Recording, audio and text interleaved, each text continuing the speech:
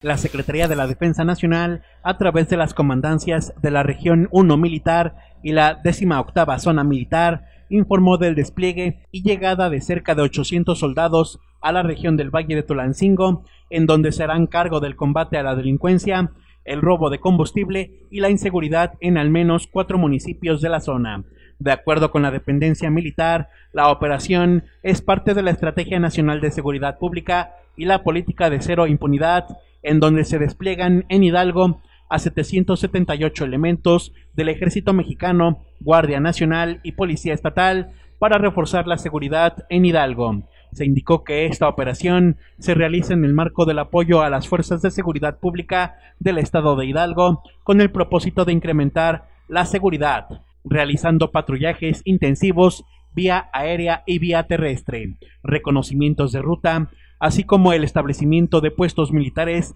de seguridad en los municipios de Cuautepec, Tulancingo, Santiago Tulantepec y Acasochitlán. El Ejército Mexicano y la Guardia Nacional trabajan en coordinación con autoridades de los tres órdenes de gobierno para fortalecer el Estado de Derecho y generar condiciones de paz y seguridad, además de inhibir las actividades de las personas que se dedican a cometer actos ilícitos de forma individual o colectiva, actuando en todo momento el personal militar y de la Guardia Nacional con pleno respeto a los derechos humanos, informó la Sedena mediante un comunicado de prensa.